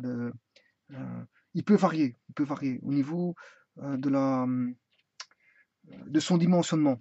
Voilà il est variant maintenant, mais après, je peux le rendre entier par après. Si j'ai envie que ce variant devienne entier, je pourrais le faire. S'il est variant de type texte que je décide de garder en tant que texte, je peux le laisser en tant que texte. En fait, quelque part, c'est un espèce de cast. De cast qu'ils appellent ça C. Euh, c'est un casting. Hein. On a euh, une certaine variable, une certaine, je euh, dimension. Et en fait, on le fait passer à une autre dimension en faisant un cast. Ici, c'est un petit peu la même chose. On prend le variant, on se dit, bon, ça, c'est, ça vaut ça. Mais après, si j'ai envie de le rendre integer euh, entier, je vais le rendre entier. Si j'ai envie de le rendre texte par après, voilà. Donc ici, j'ai défini ma var en tant que variant. Bon. Alors voilà. Donc ici, on va regarder comment ça va. Je me remets dans le forme. Dans le formulaire. Oh, il faut que je... Ici, vous voyez que quand je clique dans le forme, ça ne marche pas. Pourquoi, votre avis? Je clique dans le forme. Je vais dans le formulaire et je veux accéder au formulaire de conception. Ça ne va pas. De design. Le design euh, ou la conception du formulaire, ça ne marche pas. Pourquoi? Tout simplement parce qu'en fait, il faut arrêter l'exécution. Euh, parce qu'il a fait un debug. Ici, je dois arrêter. Voilà. Là, il est en, arrêt de débogage et donc je, rentre dans le code, l'éditeur de, code. Attention que l'éditeur de code, c'est un éditeur, c'est simple, un simple éditeur de texte. Hein. Hein, regardez ici, si j'ai envie de marquer coucou, je, le marque. Mais c'est un éditeur spécial aussi. Hein. Coucou, voilà. Coucou. Je vais marquer coucou. Hop. Vous voyez, je peux marquer ce que je veux, mais à un moment donné, il va reconnaître qu'il y a une erreur. Bon, fatalement, parce qu'il fait déjà des fonctions de, comment ça, de, reconnaissance d'erreur. Voilà, ici, il l'a pris en cours. Pourtant, ça ne veut rien dire. Hein. Parce qu'il le, considère comme une variable, donc c'est normal. Mais en fait, c'est un éditeur de texte. À la base. C'est un éditeur de texte comme si on aurait, comme si on avait, pardon, comme si on avait euh, un éditeur de texte normal, si ce n'est que l'éditeur de code. Bon, euh, il y a quand même des fonctions qui vont quand même analyser pour voir si euh, ce qu'on a introduit n'est pas erroné quand même. Malgré tout je veux dire c'est un éditeur de texte évolué mais spécifique au codage Visual Basic dans ce cas-ci c'est Visual Basic mais ça reste un éditeur de code un éditeur de texte voilà donc je peux taper du texte, quoi. ASCII, en fait, euh, voilà. Je peux taper de l'ASCII, voilà. Voilà, ici, il a reconnu une erreur, voilà. Vous voyez, ici, euh, il, a, il a reconnu une erreur. Voilà. Donc ici, vous voyez qu'il a reconnu une erreur, donc il vous le dit. Donc, il, quelque part, il, il regarde au fur et à mesure, hein, si vous n'avez pas d'erreur. Donc c'est un éditeur de texte spécial, mais il rentre déjà dans le jeu de la programmation, je veux dire, euh, au fur et à mesure, mais parfois il y a des choses qui croient que c'est des variables. C'est pour ça que quand j'écris coucou, il croit que c'est une variable. Enfin bref. Euh, par contre, quand il voit des nombres, là, euh, il n'aime pas les nombres tout seul. Regarde, si je fais ça, ainsi il l'a pris. Alors, si je mets un autre nombre, ça, est-ce qu'il va le prendre? Non. Si je mets un nombre, voilà, est-ce qu'il va prendre ça? Vous voyez, ici, il ne prend pas. Alors, je vais le réduire. Par contre, si je fais ça, il le prend. Donc, il, teste déjà pour voir le type de nombre que c'est, en fait. Voilà, jusqu'ici, il, le prend. Je remonte. Là, il ne le prend pas. Donc, ici, je redescends. Là, il ne le prend pas. Donc, on va redescendre encore de 1. Non. Là, il l'a pris. Donc, quand je mets 1, 2, 3, 4, 5, 6, 7, 8, 9, 10 caractères, apparemment, il les prend. Quand je mets le 11e, il ne le prend pas. Oui, il teste, il teste, je veux dire, certaines choses. Euh, bon, en fonction que. Les tests se font en fonction que les programmeurs euh, VB ont fait. Hein. Euh, parfois, il y a des choses qui vont, que vous avez trouvé étranges, qui, qui, qui vous ont enlevé, hein, qui n'acceptent pas.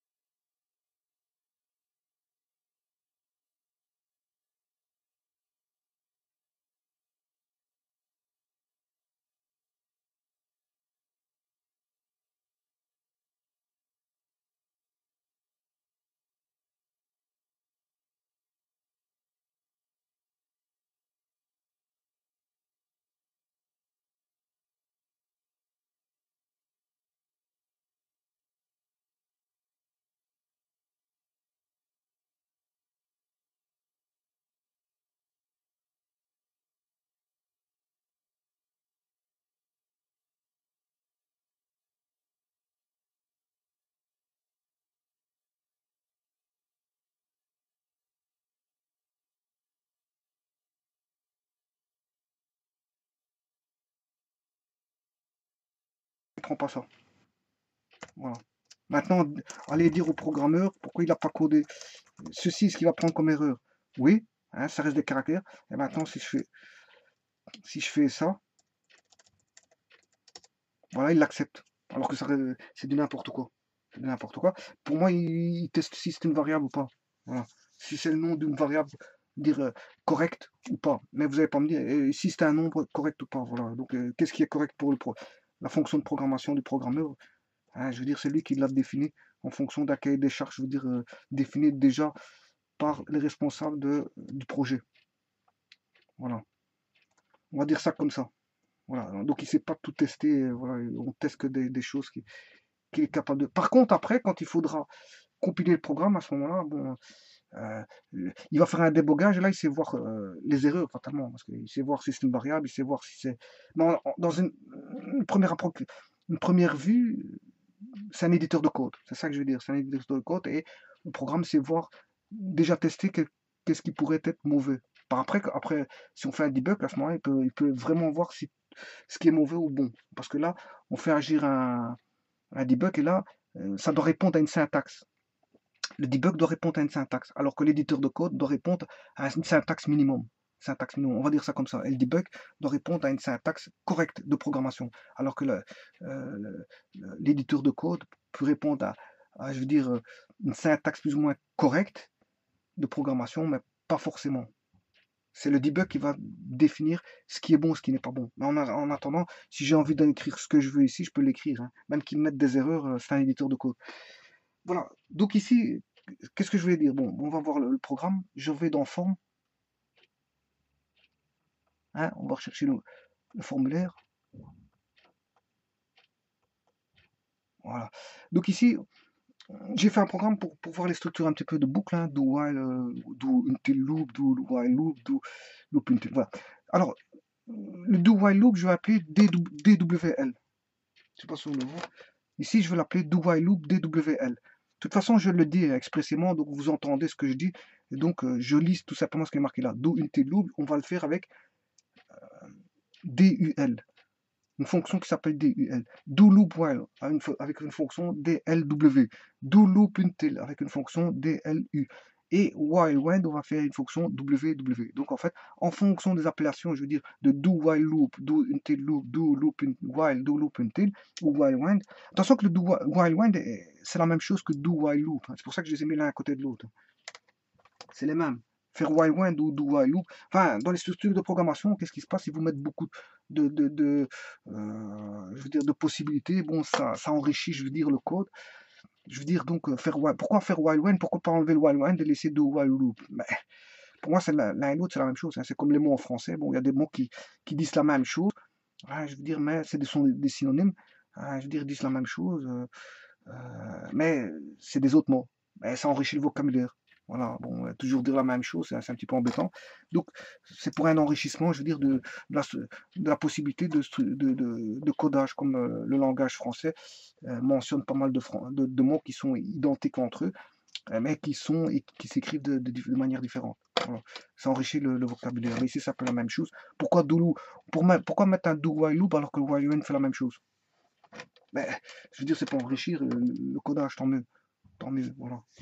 Il y a beaucoup de choses qui enrichissent les codages. Hein. Bon, certains n'aiment pas l'enrichissement, ils utilisent toujours la même chose, mais tant que ça marche, c'est principal. En codage, c'est pas d'utiliser, je veux dire, de, s'enrichir. Hein. Hein, quand, quand, on parle à quelqu'un, le principal, quand on communique avec une personne, c'est que la personne d'en face nous comprenne.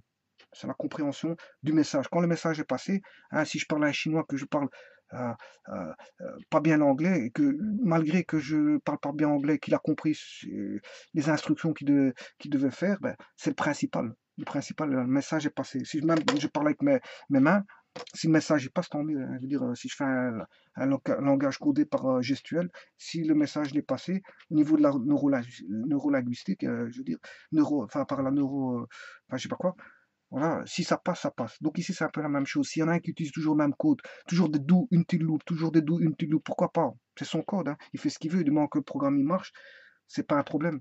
Maintenant, quelqu'un qui veut enrichir la programmation, il peut mettre do while loop, do until loop, ou il peut changer après do loop while, ou do. C'est comme avec les if. Hein. J'avais fait un programme auparavant, auparavant, je ne sais plus sur quel euh, programme.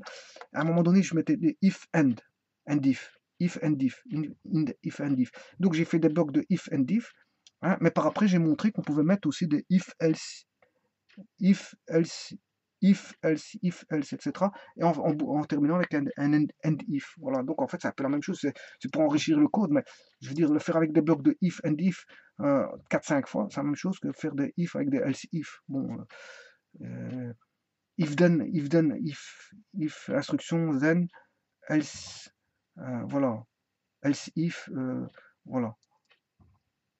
Donc en fait, on peut enrichir la, structure, je veux dire, de, codage, je veux dire, en fonction de ce que le, euh, euh, les structures programmatiques euh, nous donnent comme, je veux dire, possibilité de coder. Voilà. Bon, on ne peut pas coder n'importe quoi. Une instruction, je veux dire, ça reste des instructions de bibliothèque qui sont fournies, je veux dire. voilà. Pourquoi, si j'ai envie de mettre faire tant que, bon, ça ne marchera pas. Hein. Voilà. ça ne marchera pas parce qu'il faut utiliser bon, la syntaxe propre la syntaxe, les, comment, les instructions font partie d'une bibliothèque qui ont été programmées, encore une fois, par des programmeurs. Tout, tout a été programmé ici. Hein. Donc, ce sont des... euh, vous, vous le, le, gars qui tape do while loop ne fait qu'utiliser, je veux dire, en arrière-plan, un programme déjà tout fait qui fait do while loop. Voilà. voilà. Et, en fait, en assembleur, le do while loop, il est fort connu depuis très longtemps. Hein. Très longtemps. En assembleur, euh, on peut coder en do, un do while loop, c'est toujours la même structure do while loop en, assembleur. Donc, je veux dire, euh, euh, dès qu'on sait le faire en assembleur, on sait le faire, je veux dire, dans un, si on le faire avec un du bas niveau, on sait le faire avec du haut niveau. Et donc, fatalement, les programmeurs, je veux dire, de Microsoft et de, des autres, bon, je dis toujours Microsoft, mais c'est des autres aussi, je veux dire, on programmait un do while loop comme en tant que jeu d'instruction, et donc vous pouvez aller chercher le, dans ce jeu d'instruction reconnu par euh, beaucoup de, comment on appelle ça, de, euh, d'interfaces de, euh, de programmation, le do while loop, il est, reconnu dans pas mal de, langages de programmation. Hein. Si je vous cite, je peux faire des, je peux classifier les do while loop, comment ils se font en, en Pascal, en, turbo, en turbo, Pascal, en Fortran, en, C. Euh, je veux dire, c'est toujours la même chose. Bon, en assembleur, c'est le code il est connu, mais peut-être euh, la syntaxe elle diffère d'un programme de, programmation à l'autre. En Python, je sais pas moi, tout, il y a plein, plein de langages de programmation. Bon, on n'en a pas à un prêt. Donc, euh, tous ces langages de programmation, en fait, euh, quelque part, ils se recopient les uns les autres, et ça fait du travail un peu pour tout le monde, parce qu'ils auraient pu inventer. Et ça fait l'enrichissement aussi de, des différents types de langages de programmation, c'est tout.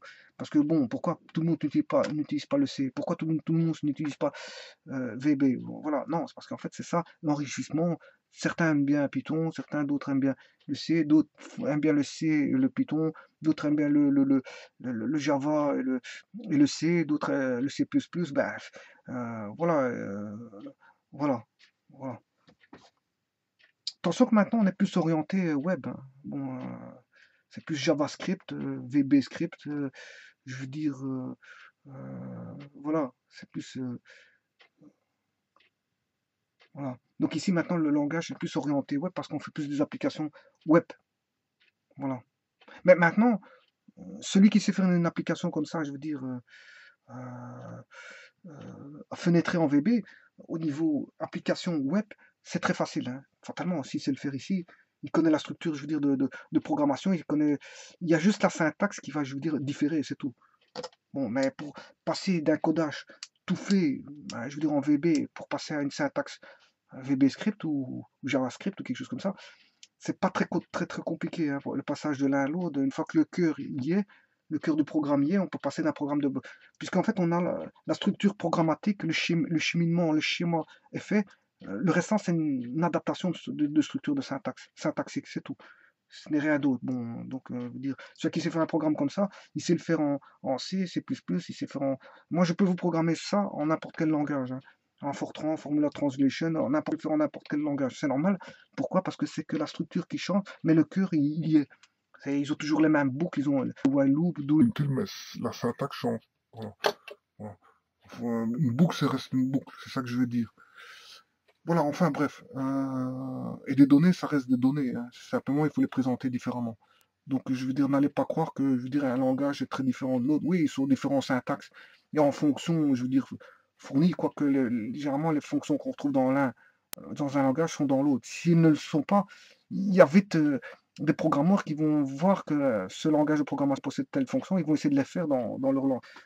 Après, ils vont faire une version avec euh, dire un, langage de une nouvelle fonction qu'un autre langage avait et que ce langage n'avait pas. Hein. Ils vont vite la, se presser de la refaire pour essayer d'avoir plus ou moins la même bibliothèque, pour essayer de rester dans le compétitif par rapport aux, autres bibliothèques de fonctions existantes des autres langages, en fait. Voilà.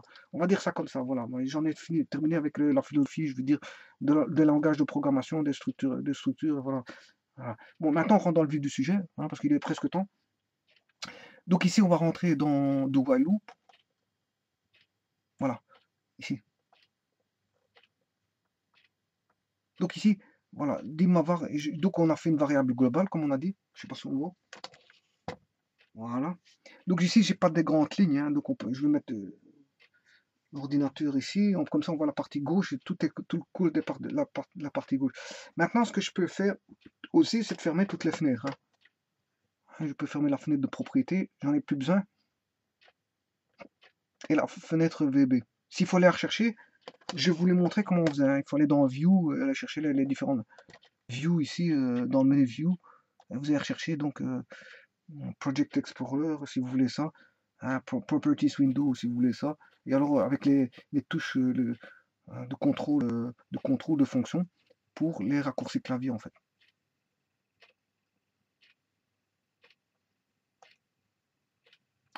Bon, alors,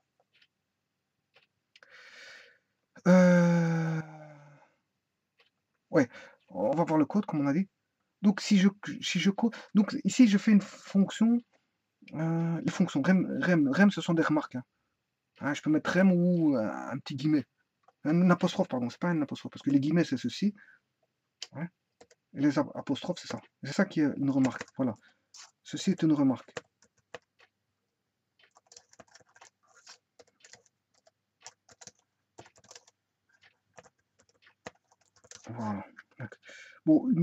Voilà. Je vais remettre une nouvelle remarque.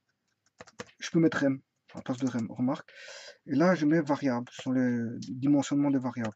C'est-à-dire, c'est l'allocation mémoire de la taille mémoire que, la mémoire va, posséder pour euh, inclure dans, sa zone des données.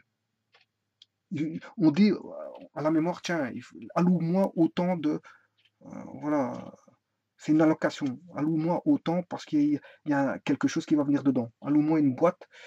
C'est pas une boîte, c'est une zone de mémoire. Hein. Bon, on peut voir ça comme une boîte. Alloue-moi, je dirais, une, taille bien précise hein, de mémoire parce qu'il y, a une donnée qui va rentrer dedans. Est-ce que c'est une donnée 8 bits? Est-ce que c'est une donnée euh, 16 bits? Est-ce que je peux aller en taille? Est-ce qu'il va comporter une virgule? Voilà, c'est tout ça en fait. Voilà, donc ça, le REM, c'est une remarque. Mais ici, je, bon, je est-ce que je peux mettre le REM Le REM, vous, voyez que j'ai mis REM les fonctions de traitement. Voilà, la remarque est là-bas. Voilà.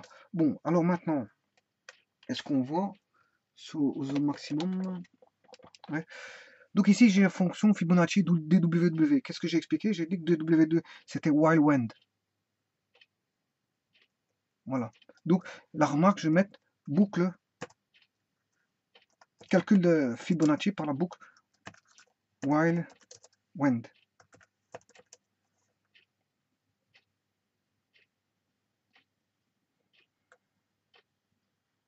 Voilà. C'est pour ça que ici c'est une fonction. Hein. Une fonction, c'est un calcul. une procédure euh, ne retourne pas de résultat, mais une fonction retourne un résultat. Bon, private function, Fibonacci end function. Voilà. Donc, euh, le début de la fonction, ça commence par function, private function. Ici, c'est une fonction privée. Hein. Voilà. Voilà. Hein. Euh, c'est une fonction privée. Et donc, ici, on fait end function. On commence par function, end function. Voilà. Et donc, je dimensionne la fonction dim, ij, des variables locales. Ouais. Ceci ici, il ne faut pas oublier que ce sont des variables locales parce qu'ils sont propres à la fonction. Elles n'ont qu'une portée à l'intérieur de la fonction. Voilà. Alors, dim L as integer, L mavar, I, égale 0, I, J égale 1. Bon, ça c'est comme on a vu, hein, il faut aller voir le programme précédent. Euh, quand j'ai fait la, comment on ça, euh, le programme de Fibonacci concernant, je veux dire, euh, comment on appelle ça le traitement automatique. Il faut aller revoir le traitement automatique. Vous allez comprendre.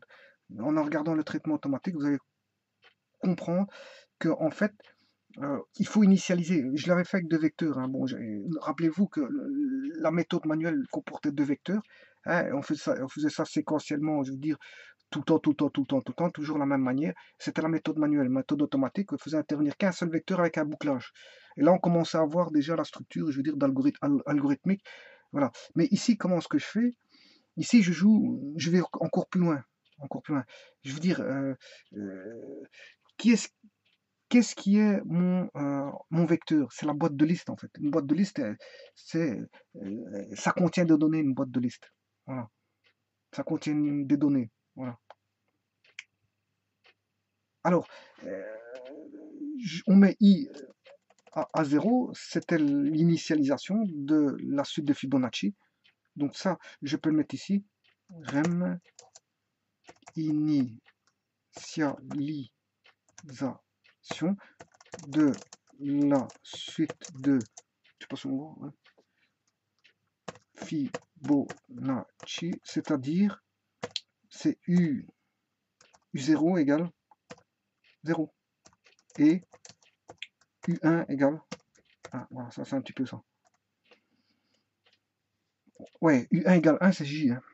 Voilà, J c'est 1. Alors, while J est plus petit ou égal à L, L c'est quoi? Elle, c'est ce qu'on a introduit, qu'on voulait aller jusque 100 ou 200 ou 1000. Vous avez vu le programme au départ, j'avais dit je vais aller jusque 1000, 2000, 3000, voilà. Et à un moment donné, on, était limité. Hein. on peut pas aller jusque la suite de Fibonacci. Je vous dis, l'ordinateur est limité. Bon, je reviens plus sur la philosophie que j'avais expliqué tout à l'heure.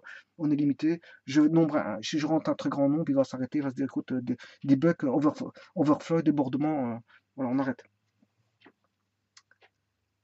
Voilà. Un ordinateur, euh, bon, euh, le traitement d'un ordinateur, tout dépend. Hein. Bon, j'ai pas un ordinateur de la NASA qui calcule des très grands nombres. bon. Encore, même si, même la NASA, on peut, s'arrêter à un moment donné, parce que tout est limité. Je l'ai expliqué tout à l'heure, je n'y reviens plus.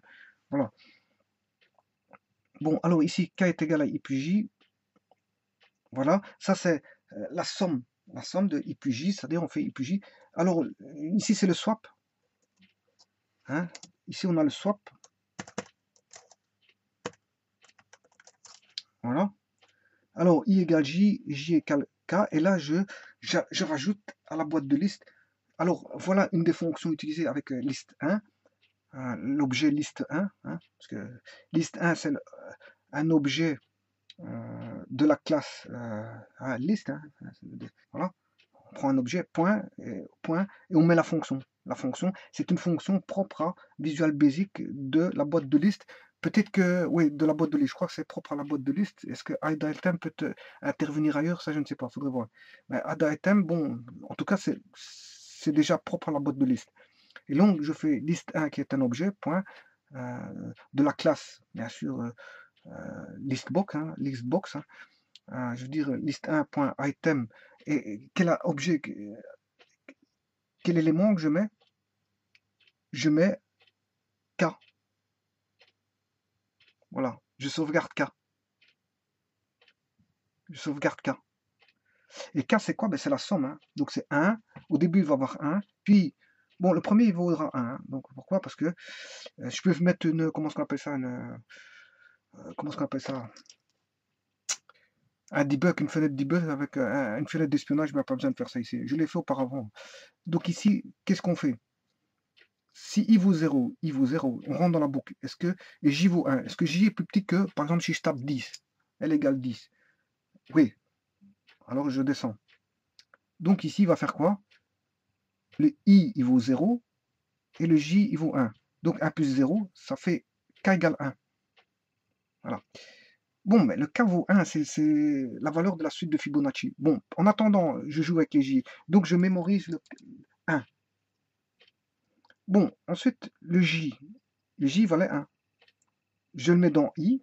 Donc, I maintenant vaut, vaut 1. I vaut 1. Et le J maintenant, il vaut 1. Parce que K, je le tape dans 1. Et je, en fait, ce que je fais, j'ai inscrit le 1. Voilà. Ensuite, qu'est-ce qu'il fait? Bon, il, l'affiche dans une fenêtre de débogage. Bon, ça, on s'en fout. Bon, est-ce que je peux continuer? Ben oui, parce que J vaut 1. Et 1, j'ai mis 10, j'ai mis 10, elle vaut 10. Donc, 1 est plus petit que 10. Bon, maintenant, le J, il vaut... Enfin, le K valait 1. Hein.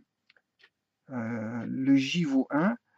Et le I, maintenant, il vaut 1. Donc, 1 plus 1, ça fait 2. K vaut 2 maintenant. Mais le J vaut 1. Je mets dans I. Et le K vaut 2, je mets dans J. Donc, J vaut 2 maintenant. Et le J vaut 1. Voilà. Je reboucle. Est-ce que J est plus petit ou égal à 10 Bah ouais, 2 est plus petit, strictement plus petit que 10. Hein. Donc, euh, fatalement. Bon, alors, qu'est-ce que je fais? Le J vaut 2. Mais le I valait 1. 2 plus 1, ça fait combien? 3. Le K vaut 3 maintenant. Je sauvegarde le, le, K vaut 3. Je sauvegarde le J dans I. Donc le J vaut 2 maintenant. Et le K qui vaut 3, je le mets dans, dans J. Voilà. Je remonte. Est-ce que le J vaut 10 Non. Donc je fais J plus I. J vaut 3. Et le I vaut 2. 3 plus 2. K vaut 5 maintenant vaut 5. Voilà. Mais le J maintenant, qu'est-ce que je fais? Je le mets dans I. Dans I. Et le. Euh, et le. Le, le J. Ouais. 5. Et le J vaut. Vaut 3. Euh, oui, parce que 2 plus 1, ça fait 3. Euh, il valait 3, puis 3 plus 2, ça fait 5, voilà. Voilà, 5, je, regarde si 5 est plus petit que 10, oui. Là, à ce moment-là, j'y vaut 3. Je fais J, 3 plus 5, ça fait 8. Maintenant, j'ai 8. En fait, qu'est-ce que c'est que les suites de Fibonacci? C'est tout simplement, si j'ai 3 boules, 2 boules et 3 boules, ben j'insère les 2 boules dans les 3 autres pour faire 5. Voilà. Bon, maintenant, la suite suivante, c'est quoi? Donc le successeur, on va dire le successeur. J'aime pas le mot successeur parce que c'est pour les personnes. Prédécesseur et successeur, j'aime pas trop. Généralement, le prédécesseur, on avait dit que Fibonacci, c'était un arbre. Donc, pour faire des, arbres en chaîne, chaînés au niveau des données les unes par rapport aux autres, ben, on parle de prédécesseur et de successeur. Normalement, c'est pas prédécesseur-successeur parce que ça, c'est au niveau des personnes. Les personnes. Quand une personne succède à une autre, une personne prend la place d'une autre personne, c'est ce qu'on appelle prédécesseur-successeur. Mais on peut l'adapter au niveau du monde informatique sans aucun problème. Donc ici, si le prédécesseur fait 2 et le successeur fait 3, eh bien, je fais, je rentre les deux boules dans les trois boules. Je rentre les deux boules dans les trois boules, ce qui en, fait 5. Puis j'ai trois boules et cinq boules. Mais je rentre les trois boules dans les cinq boules, ce qui en fait 8. Puis je prends les huit boules, les trois boules précédentes, euh, qui, précédaient les, les, les, 8, hein, je les insère au 8 pour faire 13. Euh, Puis je prends les 13 boules, je les insère au prédécesseur des 13 boules qui sont 8 euh, boules, 8 boules plus 13 boules, je les insère dedans pour faire 21 boules. Puis je prends le prédécesseur des 21 boules qui est 13 boules et je trouve le successeur des 13 boules. Je fais 13 plus, 13 plus 21, ce qui fait 34. Voilà, et ainsi de suite. Donc on joue avec prédécesseur, successeur, tout en insérant les, boules, les boules d'avant, je veux dire une nouvelle boule. Et en fait, c'est ce qui se passe. Donc, je reviens un peu là-dessus, hein, parce que j'ai bien expliqué, je veux dire, le, swap. Et puis, quand on va arriver, je veux dire... Quand le cas voudra, euh, je sais pas moi, le cas, si le J voudra, par exemple, euh, 8, parce que là, la suite de Fibonacci, c'est 1, 1, 1, 1, 2, 3, 5, 8, 13, 21, 34, euh, puisque je crois que c'est 55, etc. Voilà. Bon, donc ici, si je suis en dessous de 10, tant qu'il est en dessous de 10, il va boucler en fait. Voilà, et ça c'est par une boucle Wildwind égale à 10 à ce moment-là. Est-ce qu'il est égal? Oui, donc il va redescendre. Il va refaire, il va réappliquer, je veux dire, euh, euh, un bouclage. Voilà. Tant qu'il est plus petit que il va boucler en fait. Voilà. Voilà, ça c'est pour la boucle while wind. Bon, maintenant regardons avec une boucle do while. Comment elle se fonctionne? Fonctionne si j'appuie sur do while loop, ça c'est DWL, la fonction DWL. C'est toujours le même algorithme, ça ne change pas, donc je ne réexplique plus. Et là, qu'est-ce qui se passe? Bon, on voit bien qu'on initialise les, variables. Bon, je fais la boucle avec interchangement de, des prédécesseurs, successeurs, et ce qui doit valoir la somme. Le successeur, c'est la somme, en fait. Voilà. En fait, quelque part, ça, le cas, c'est le successeur. Mais le successeur de quoi? Ben, de J. Voilà. Comment je fais l'enchaînement? Ben, En faisant ceci, un swap. Je fais un swap et j'ai quelque part l'enchaînement. Voilà, c'est un petit peu ça. Parce que je dis le cas au J. Voilà. Et là, ici, c'est l'enchaînement de quoi ici? Le, ben, Du successeur avec son élément. Un élément, un élément et son successeur. Voilà. Le successeur étant K, ici.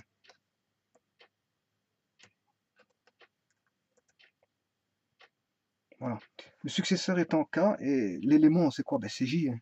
J sur successeur. Voilà. Alors ici, qu'est-ce qu'on fait? C'est un swap aussi? J'espère qu'on voit. Ouais. Donc ici, qu'est-ce que je fais? Je fais un swap, j'espère qu'on voit bien. Voir, ouais.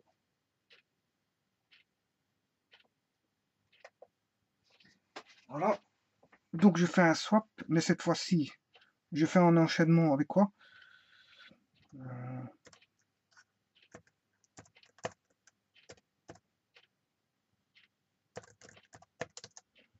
d'un élément avec son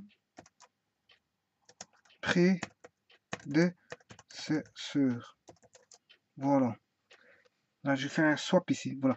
Donc, je fais un enchaînement d'un élément avec son prédécesseur et l'enchaînement d'un élément avec son successeur. Bon, le prédécesseur de J, c'est I. Prédécesseur, c'est I.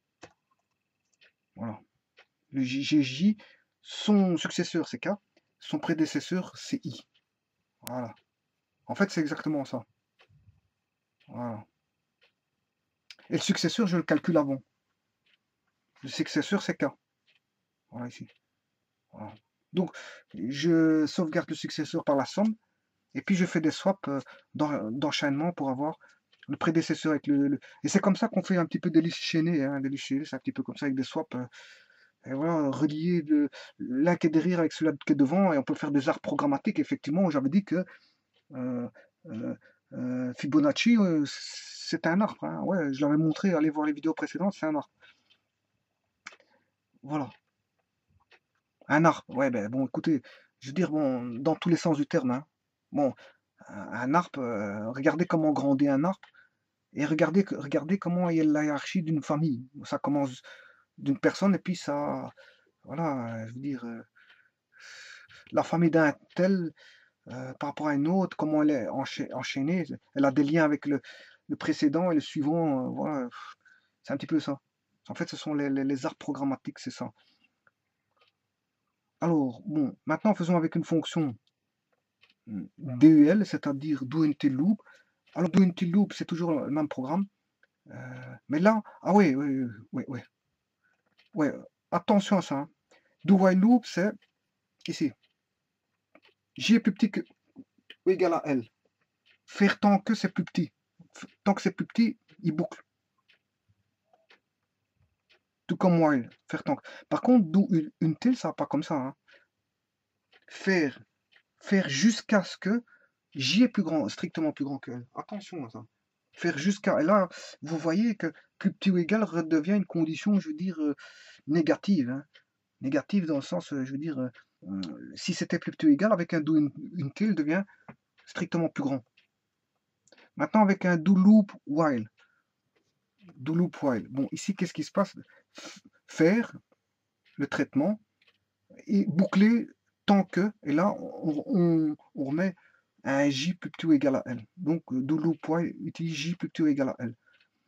Par contre, do loop until utilise j plus grand que, euh, l. Donc, while c'est tant que, et until c'est jusqu'à ce que. Donc, pas confondre tant que en français et jusqu'à ce que. Bon, euh, tant que j plus petit ou égal à l, et jusqu'à ce que j plus grand ou égal à l. Alors quelle est la différence entre do until, do until loop et do loop until ben, En fait, c'est la même chose. C'est la même chose. Do loop until euh, while, do loop until j plus grand que l, do. Par contre, ici, non, non, non, attendez, attendez, attendez. Do do loop, do until loop. Faire jusqu'à ce que J est plus grand qu'elle. S'il n'est pas plus grand, il va faire ça. Et puis il va faire une boucle. Il va faire une boucle. Et s'il est plus grand, il ne fera pas, l'intérieur. Il sortira de la boucle quand, je veux dire, la condition ici n'est pas exprimée. Par contre, si je fais do loop until, voilà, do loop until, je fais. Voilà, la différence, elle est là. Il y a une petite différence. C'est qu'ici, il rentre directement dans la boucle, donc il fait un premier traitement, un pré-traitement, avant de tester pour voir s'il peut faire une boucle. Alors que, donc, do loop until n'est pas la même chose que do, do until loop, parce que là, il teste d'abord et puis il rentre dans le traitement. Par contre, l'autre, il fait d'abord un pré-traitement et puis pré préliminaire, et puis il teste. Donc il fait un pré-traitement avant, avant de faire son bouclage. Donc attention. Tout comme do while loop.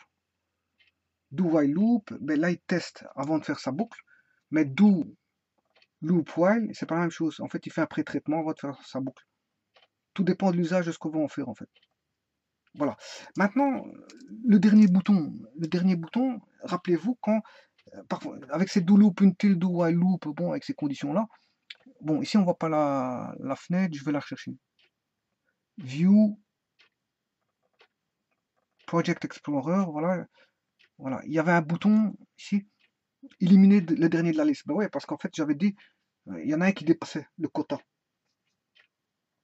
Bon, alors comment programmer la dernière valeur à effacer? En fait, c'est je vais chercher la boîte de liste, a une fonction qui va lister, je veux dire, je sais pas si on voit. Voilà. Je vais chercher donc euh, une commande clic, que quand je, clique dessus, il va lister combien d'éléments que j'ai dans, la boîte de liste. C'est une fonction préprogrammée par les programmeurs donc de, Visual Basic. Voilà. Ils ont programmé pour une boîte de liste une fonction de comptage de nombre d'éléments dans une boîte de liste. Et en fait, c'est la fonction, c'est tout simplement listCount qui s'utilise avec euh, l'objet liste 1. Donc je, je, tape liste 1, l'objet point fonction, hein, qui contient aucun argument, puisque en fait, hein, les parenthèses sont ouvertes et fermées directement sans rien dedans, donc en fait, il n'y a aucun argument à rentrer. Liste 1.listCount, et là, il sort un, résultat qui est le nombre d'éléments que je, sauvegarde dans une variable que j'appelle z. Voilà. Donc maintenant, z contient de nombre d'éléments qui contiennent une boîte de liste. Alors je teste si il y a zéro élément. Alors je ne fais rien. S'il y a zéro élément, je ne fais rien. Par contre, s'il n'y a pas zéro élément, s'il y en a une dizaine, mais je dois enlever remove via la fonction remove et un index, et l'index c'est z-1.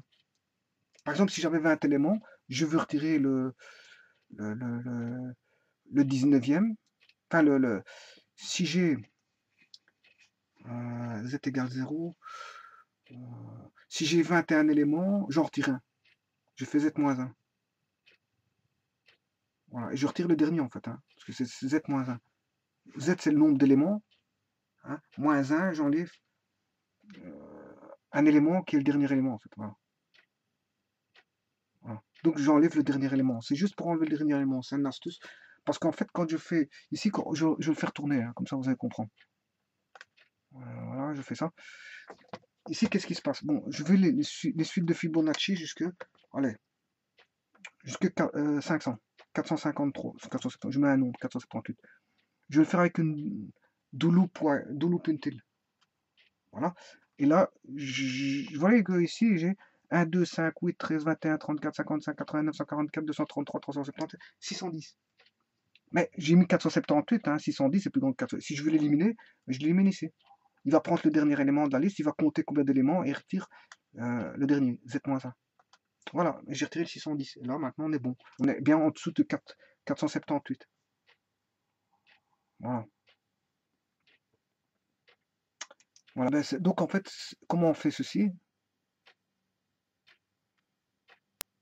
Tout simplement, comme ceci, je compte dans la boîte de liste, list count, hein, comptage de la boîte de liste, hein, j'intègre une variable z qui va contenir cette valeur de, de, nombre d'éléments de la boîte de liste que j'utilise en tant que vecteur. Hein. moi, je, la boîte de liste, je l'ai pris parce que ça fait office de vecteur quelque part. Il contient des éléments comme un vecteur. Voilà.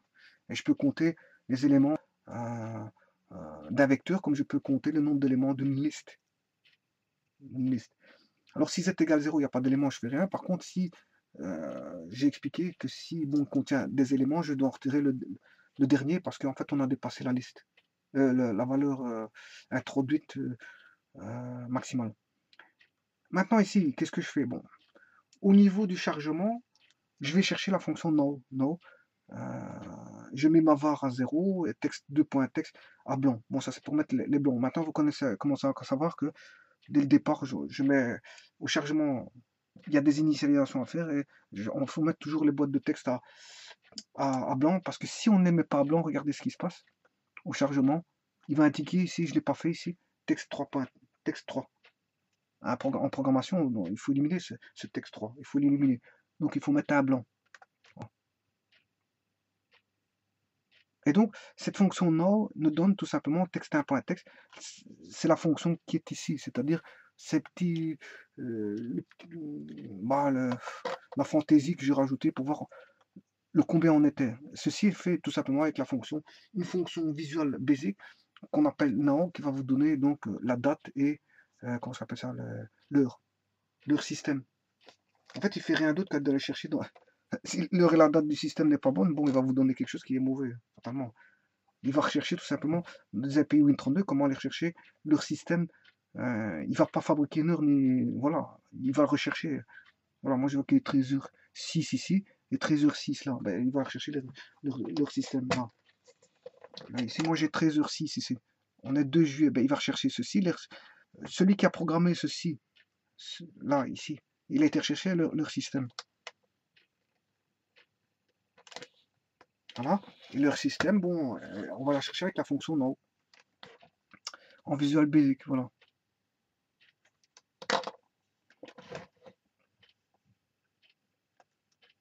Donc comme ça, c'est une fantaisie en plus que vous connaissez. Au niveau des fonctions, au niveau des bouclages de structures programmatiques, je veux dire des bouclages, maintenant vous connaissez, bien sûr vous connaissez la boucle for next parce qu'on l'avait déjà utilisé auparavant. Bon. Alors, l'effacement de la boîte de liste, comment est-ce qu'elle se fait? Voilà. Ça, si, si on a envie de... Quand euh, on efface la boîte de, liste, comment est-ce qu'on fait? Ben, Il faut compter tout. Hein? Non, ça c'est justement l'appel à la fonction. Hein. Ça c'est l'appel de la fonction. Quand je clique sur le checkbox euh, relatif au do loop, il va chercher la fonction qu'on a vue auparavant qui calcule la, les Fibonacci. Donc, comment on fait ça? Je regarde si je, compte s'il y a des valeurs dans la boîte de liste. Ben, sinon, il y en a zéro. Et si elle est vide, boîte de liste, à ce moment, je fais appel call Fibonacci WL, c'est-à-dire celle qui va calculer donc do while loop. Sinon, si la boîte euh, n'est pas n'est pas vide, c'est-à-dire qu'il contient des éléments, j'efface d'abord avant de faire un appel à la fonction de Fibonacci. S'il contient quelque chose, on efface. Hein. Comme on efface, c'est toujours une fonction, je veux dire, propre à Visual Basic et à listbox, parce que j'efface le listbox. C'est en fait liste point clear. Clear, ça efface. Voilà. Donc, et ce sera toujours comme ça. Si je clique sur euh, do until loop, sur le check, sur l'option click, option click, à ce moment-là, je regarde s'il y a des éléments. Si oui, j'efface, sinon euh, j'efface et j'appelle la fonction Fibonacci dull, c'est-à-dire do until loop. Sinon, ben, euh, j'écris directement sans, j'appelle la fonction Fibonacci en écrivant directement dans la listbox sans effacer quoi que ce soit. Maintenant, si je, clique sur Option 4 clic, à ce moment, je calcule do loop until, etc. c'est toujours la même chose. C'est des copier-coller. Voilà, j'en ai terminé pour, euh, je veux dire, ce petit programme-là. Euh, ouais, n'oubliez pas que texte 2.text contient Mavar. Hein. Mavar, c'est, on l'a dit. Mavar, on l'a dit. Hein. Ici,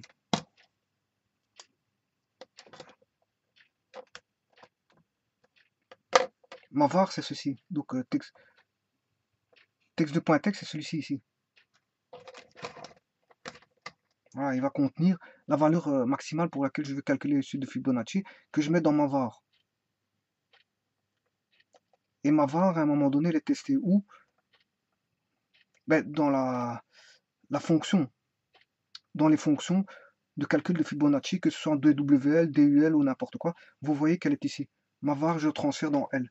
Et c'est par rapport à ça que j'ai fait le test de while plus petit ou égal à L. L, c'est ce qui est contenu dans ma var. Par exemple, si j'ai introduit 58, je veux le, suite de Fibonacci jusqu'à 212, par exemple. Il va tester ma var vaut 212 parce que j'ai mis texte dans, dans ma texte, deux points texte dans ma var. Donc, euh, ma var est connue. Hein. C'est une variable globale, comme on l'a dit. Parce qu'on l'a définie en tant que variable globale ici. Voilà, elle est connue. Donc, je vais tester à tous les endroits de, de toutes les fonctions où L est une variable globale, c'est la seule variable globale. Hein. Tout le restant, ce sont des variables locales. Toutes les variables locales sont contenues uniquement, sont connues que dans la procédure ou la fonction. Ici, c'est une fonction, i est connu que là-dedans. Si, par exemple j vaut 4, il vaut 4 que là-dedans. Si le j vaut 4 dans l'autre fonction là-bas, il vaut que j ne voudra pas 4 dans la fonction du dessus, mais uniquement dans celle-là. Par contre, le comme c'est une variable globale, ma var, c'est une variable globale, donc ma var, comme elle est dans toutes les fonctions, ma var, euh, si elle vaut 4, ben, j'aurai 4 ici, j'aurai 4 dans la deuxième fonction, j'aurai 4 dans la troisième fonction, et j'aurai 4 dans la quatrième fonction, parce qu'ils utilisent tous L. C'est grâce à, ce L, euh, c'est-à-dire à la limite de calcul de la suite de Fibonacci, si je rentre, ma var égale de 212, ben, je, vais, je vais faire des bouclages jusque dans 12. Voilà. Si calcule DUL, si calcule en DLW, ma var s'il vaut 212, ben, je dois tester par rapport euh, ici, d'où j plus égal à L, à 212. Donc, elle, il voudra, elle sera constante partout. Dans toutes les fonctions. Elle sera connue, elle aura constant. Si je mets 212, c'est constant partout. Donc 212 dans toutes les fonctions. Le L va être présent dans toutes les fonctions, donc 212 partout. Si j'avais tapé 212 dans edit 2.texte, dans edit 2.texte, c'est-à-dire si je mets 212 ici, ben, j'ai 212 dans ma var, donc fatalement j'ai euh, voilà. Voilà, je crois que j'ai plus rien à dire. Euh, je vais résumer et puis je termine avec ça, en faisant fonctionner. Voilà, je vais résumer le. Donc c'est un programme qui permet de faire quoi? Bon, euh, de calculer suite de Fibonacci par l'algorithme qu'on a vu précédemment, mais sans utiliser, enfin, indirectement en utilisant une liste box, en fait, qui est un, espèce de vecteur, hein, hein, parce que euh, Fibonacci, bon, logiquement, il faut, c'est en fait, il faut un espace vectoriel, enfin, il faut un, des matrices pour faire ça, en fait, des vecteurs ou des matrices. Et donc ici, bon, euh, le vecteur que je joue avec, c'est un list box qui est là. Il va, il va, il va passer des valeurs là que je peux lire n'importe comment. Donc ça, ça, ça, ça, joue le rôle d'office de l'Xbox, donc ça joue le rôle d'office de vecteur, donc ça joue le rôle d'office de zone mémoire, parce que zone mémoire, c'est tout des matrices. Je l'ai déjà expliqué 50 000 fois, mais enfin bref. Voilà. Donc ici, euh, j'ai ma zone euh, vectorielle ici, hein, il va indiquer les valeurs hein, de suite de Fibonacci, les fameux K, les K vont s'introduire ici, Et les calculs se font bien sûr par rapport à une entrée de référence que je dirais, bon, qui sera la limite. Par exemple, si je mets 512, c'est la limite, ben, il va calculer jusque celui qui est juste au-dessus de 512. Donc, le problème, il est là. Donc, je dois effacer le dernier ici. Par exemple, ici, je tape 512.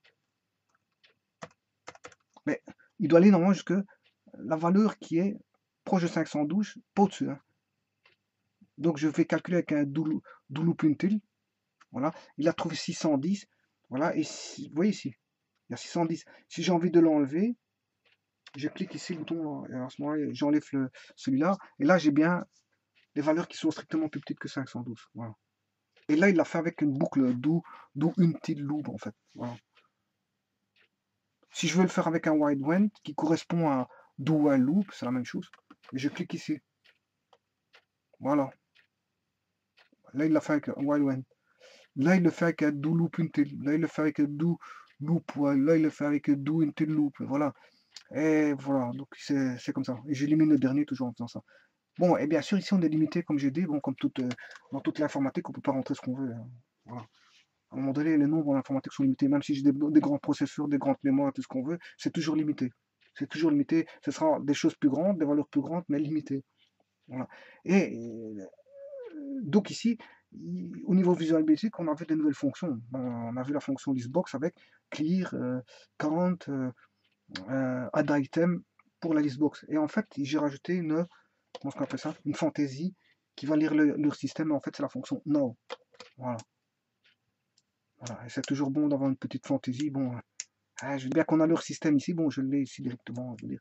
Hein, comment intégrer ça dans un, dans un projet où leur système, ou calculer, parce que leur système peut être calculé, hein, ça peut faire, on peut calculer, je fais une fonction de projet. Hein, aujourd'hui, il a été travaillé à, telle heure, euh, demain, il devra travailler à telle heure. Si je veux savoir, euh, le coût horaire, ben, je fais la différence des heures de travail je regarde, je multiplie par le coût horaire et j'aurai le total de nombre d'heures prestées. Donc, je peux faire des calculs de soustraction, d'addition, d'heures, de, jours. voilà, par rapport à, par exemple, ne fût-ce qu'un gestionnaire de projet, euh, de projet. Voilà, donc en fait, on peut calculer. Le, non, ce calcul, hein, sont les valeurs, on peut calculer. Enfin, je vais vous laisser ici. Donc, euh, pour la prochaine vidéo, qui ne sera pas forcément de, la programmation, hein, je vais sauvegarder ici. Save Project. Voilà. N'oublie pas que ce que j'avais expliqué, vous pouvez faire Remove Project, hein, ça ne veut pas dire effacer, hein, parce que en informatique, un effacement, il, demande toujours une, comment qu'on appelle ça, une, euh, confirmation. Ici, si je fais remove, il ne va pas me demander de confirmation, fatalement, parce que en fait, il ne l'efface pas, il l'enlève juste d'ici, mais elle est toujours dans le pro. voilà, je peux l'enlever juste de la zone ici, c'est tout. Et ça va très vite. C'est ça qui est bien dans le remove, ça va très vite. Il commence pas à tout fermer. Euh, euh, il, ferme, il prend plus de. il est plus rapide en fermant avec remove que. Voilà par notre procédure de, fermeture. Regardez, d'ailleurs je vais le faire. Hop. Vous voyez En deux temps de mouvement, il l'a fait. Et c'est pas pour autant que le programme n'est pas là, parce qu'il suffit de, que je fasse Open Project et je vais chercher le programme, il est toujours là. D'ailleurs, il est ici. Il est ici. Hop. Voyez Remove, il revient, il revient, même très vite. Contrairement à un Open, open, open Project, là, il va, le temps qu'il le s'ouvre, ben, là, il est déjà là. Avec remove et, d'aller rechercher tout de suite, il va rechercher tout de suite. Je vais chercher juste dans la, dans la pile. Dans la pile. Comme c'était le dernier utilisé, bon, je clique dessus. Dans la pile de, de dire, euh, comme j'avais expliqué auparavant, les projets se mettent dans une pile et on voit l'historique euh, des derniers projets, je veux dire, utilisés. Donc en fait, la pile, comment est-ce qu'elle va? C'est le, le dernier programme qui est utilisé qui va se, se placer en en premier. Donc, le dernier, c'est last in. First. Non. Euh, le, dernier, le dernier, le dernier sorti est mis en dernier. Ouais. Euh, attendez. C'est donc euh, j'ai une pile. Ouais, en fait, les autres sont empilés. C'est pas qu'ils rentrent, ils sortent, mais ils sont empilés. Ils sont empilés. C'est toujours une pile d'empilement, comme si c'est pas un last Il n'y a pas de sortie. Donc, quoique, euh, non, en fait, c'est pas une gestion, c'est pas une gestion de pile, ça n'a rien à voir. Si je peux sortir la troisième, la quatrième, la cinquième que je veux, c'est pas que, euh, c'est pas le dernier. C'est pas une gestion d'empilement, ça n'a rien à voir avec le last in, first out ou first in, first ça n'a rien à voir. Ici, je peux rentrer. Donc, il va, le dernier programme en, fait va être empilé en, première position. Et je peux sortir n'importe lequel, le 1, 2, 3, 4, en fonction de mes besoins. Voilà, donc c'est pas une gestion d'empilement de stock ou, quoi que ce soit. Voilà, en fait, j'arrête ici pour, être, pour rester bref. Merci beaucoup.